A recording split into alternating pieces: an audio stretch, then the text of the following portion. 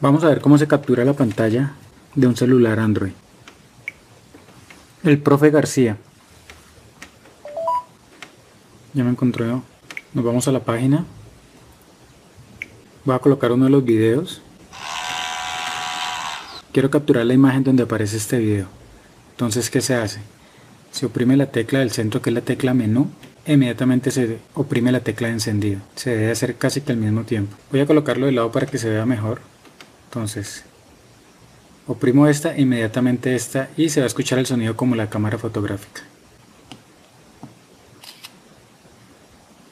Y en ese momento me dice que ya tomó la foto. Voy a capturar por ejemplo el escritorio. Entonces tecla menú y después la de encendido que está acá arriba. Suena como si se hubiera tomado una foto y es cuando captura la pantalla. ¿Dónde encontramos esas capturas? Entonces nos vamos a mis documentos. Yo no lo tengo en el escritorio principal, sino en el alterno. Entonces aquí está mis documentos. Oprimimos ahí en mis documentos y buscamos el subdirectorio que dice capturas de pantalla.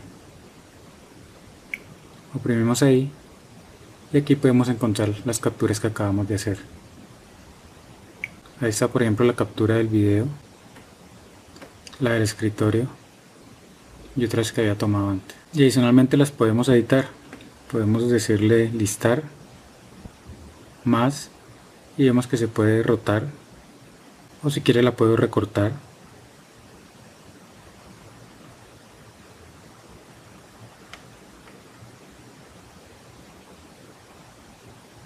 para dejarla solo del tamaño que me interesa. Aquí vemos la captura de la foto que me interesa de algún video o de un pantallazo del celular. La puedo ampliar o minimizar para ver detalles o la puedo utilizar si yo quiero la puedo compartir.